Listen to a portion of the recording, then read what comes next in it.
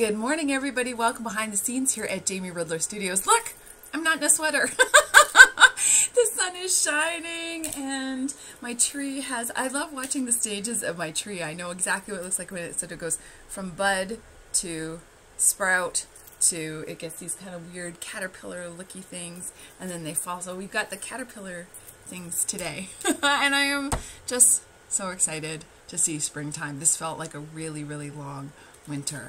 And I'm so excited to share with you what this weekend was like. Remember I told you I was going to do a painting workshop.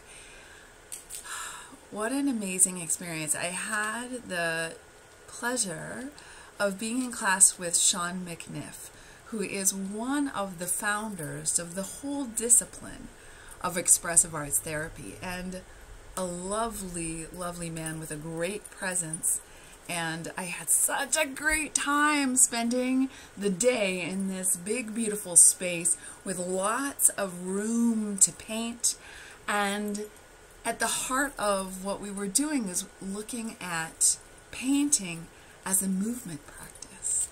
So it not being at all about thinking or planning or um, even having any sort of control over what it was we were creating, but instead, sometimes uh, Shaun would be drumming or he would play the kalimba, and we would, you know, be working with this kind of sense of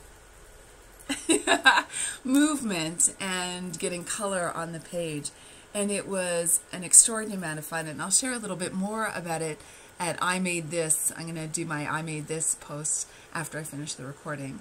So if this kind of thing really inspires you, I'll share with you the book I'm also reading, which is Life, Paint, and Passion, Reclaiming the Magic of Spontaneous Expression by Michele Cassou and Stewart Cubley. And this is exactly what this book is about. It's about approaching painting in a spontaneous, experiential way where what you're enjoying is being immersed in the process and discovering about yourself instead of being worried about what the end product is like. A fascinating, fascinating experience. So much fun and so alive. That's the joy for me is it brings this huge sense of aliveness. I know a little while back I asked you all, what does creative living mean to you? You know, why is it important? And for me, this is an enormous part of it, is for us to be able to come alive in our lives, in our ourselves, in our environments, wherever we are. What is it that this is that's the spiritual piece for me. That's the life purpose piece for me.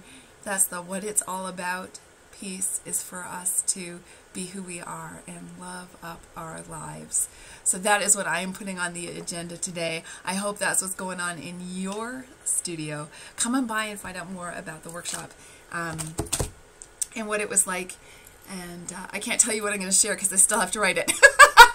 so come by openthedoor.ca, join the studio, and uh, I love connecting with you. I hope to see you over there. Okay, have a great day. Bye. Oh, and I got my haircut. What do you think?